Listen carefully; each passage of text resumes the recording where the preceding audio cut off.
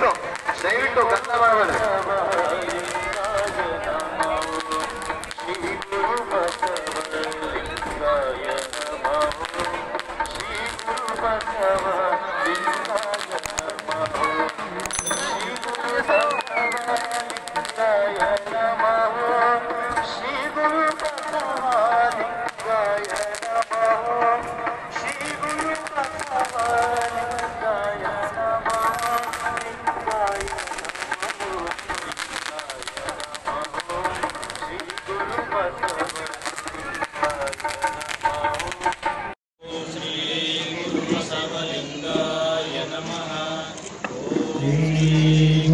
श्रीगुरुबसवलिङ्गाय नमः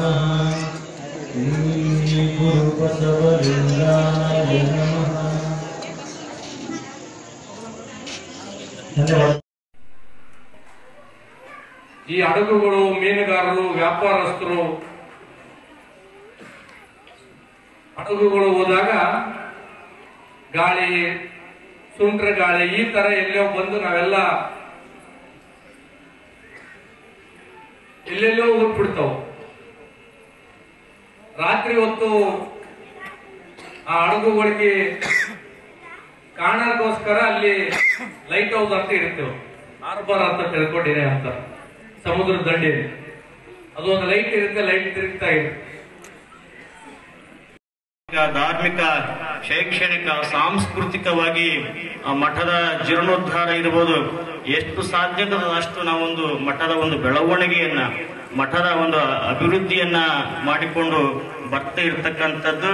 ಇಪ್ಪತ್ತು ವರ್ಷದ ಒಂದು ಸಾಧನೆಯಲ್ಲಿ, ಇಪ್ಪತ್ತು ವರ್ಷದ ಒಂದು ಅವಧಿಯಲ್ಲಿ ಮಠಕ್ಕೆ ಅನೇಕ ಭಕ್ತಾದಿಗಳು ಎಲ್ಲ ರೀತಿಯ ಸಹಾಯ ಮತ್ತು ಸಹಕಾರವನ್ನ ತಾವೆಲ್ಲ ನೀಡ್ತಾ ಬಂದಿರಿ.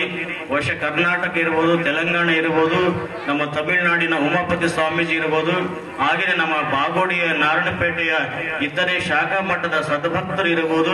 ಎಲ್ಲರೂ ಸಹಿತ ನನ್ನ ಇಪ್ಪತ್ತನೇ ವರ್ಷದ ಒಂದು ಸೇವೆಯ ಸಂದರ್ಭಕ್ಕೆ ತಾವೆಲ್ಲ ರೀತಿಯಿಂದ ಸಹಾಯ ಸಹಕಾರವನ್ನು ತಾವೆಲ್ಲ ನೀಡ್- ನೀಡ್ತಾ ಬಂದಿರಿ. ಈ ಮೂಲಕವಾಗಿ ನಾನು ತಮಗೆ ಅತ್ಯಂತ ಪ್ರೀತಿಯಿಂದ ಧನ್ಯವಾದಗಳನ್ನ, ಅಭಿನಂದನೆಗಳನ್ನ ಒಂದು ಕೃತಜ್ಞತೆಗಳನ್ನ ಸಲ್ಲಿಸಲಿಕ್ಕೆ ನಾನು ಇಷ್ಟಪಡ್ತೀನಿ. ಒಬ್ಬ ಸ್ವಾಮಿಯ ಜೀವನದಲ್ಲಿ ಇವತ್ತು ಭಕ್ತರೆ ಅಂತಕ್ಕಂಥದ್ದು ಬಹಳ ಮುಖ್ಯ. ಗುರುಲಿಂಗ ಜಂಗಮಕ್ಕೆ ಭಕ್ತನೇ ಆಧಾರ. ಭಕ್ತ ಇಲ್ಲ ಅಂದ್ರೆ ಗುರು ಹಾಗಲ್ಲ, ಲಿಂಗ ಅನ್ಸ್ಕೊಳ್ಳೋದಿಲ್ಲ ಅದು ಜಂಗಮ್ಮನ ಸಹಾಯ ಸಹಕಾರವನ್ನು ತಾವೆಲ್ಲ ನೀಡ್- ನೀಡ್ತಾ ಬಂದಿರಿ. ಈ ಮೂಲಕವಾಗಿ ನಾನು ತಮಗೆ ಅತ್ಯಂತ ಪ್ರೀತಿಯಿಂದ ಧನ್ಯವಾದಗಳನ್ನ, ಅಭಿನಂದನೆಗಳನ್ನ ಒಂದು ಕೃತಜ್ಞತೆಗಳನ್ನ ಸಲ್ಲಿಸಲಿಕ್ಕೆ ನಾನು ಇಷ್ಟಪಡ್ತೀನಿ. ಒಬ್ಬ ಸ್ವಾಮಿಯ ಜೀವನದಲ್ಲಿ ಇವತ್ತು ಭಕ್ತರೆ ಅಂತಕ್ಕಂಥದ್ದು ಬಹಳ ಮುಖ್ಯ. ಗುರುಲಿಂಗ ಜಂಗಮಕ್ಕೆ ಭಕ್ತನೇ ಆಧಾರ. ಭಕ್ತ ಇಲ್ಲ ಅಂದ್ರೆ ಗುರು ಹಾಗಲ್ಲ, ಲಿಂಗ ಅನ್ಸ್ಕೊಳ್ಳೋದಿಲ್ಲ, ಅದು ಜಂಗಮ ಅನ್ಸ್ಕೊಳ್ಳುವುದಿಲ್ಲ.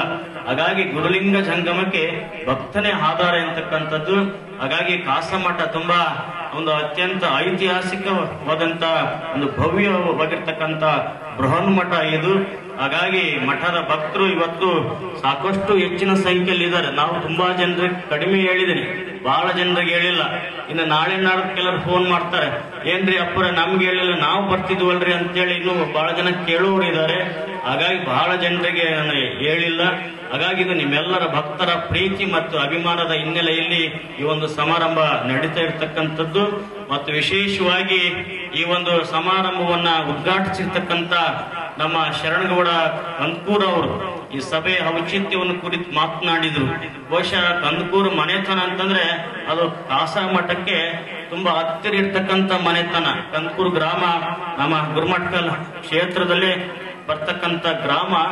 ಹಾಗಾಗಿ ನಮ್ಮ ಹಿಂದಿನ ಶಾಂತಿವೀರ ಸ್ವಾಮಿಗಳು, ನಮ್ಮ ಹಿಂದಿನ ಶಾಂತಿವೀರ ಸ್ವಾಮಿಗಳು ಇದ್ದಾಗ ನಾಗಣ್ಣಗೌಡ ತಂದೆಯವರು, ಅಂದ್ರೆ ಶರಣಗೌಡರವರ ತಾತವರು ನಾಗಣ್ಣಗೌಡ ಸಣ್ಣ ಹುಡುಗ ಆಗಿದ್ದ ನಾಗಣ್ಣಗೌಡ ಬಾಲಕರಿದ್ದಾಗ ನಮ್ಮ ಎಂಟನೇ ಶಾಂತಿವೀರ ಸ್ವಾಮಿಗಳು ದೊಡ್ಡ ಆಯುರ್ವೇದಿಕ್ ಪಂಡಿತರು.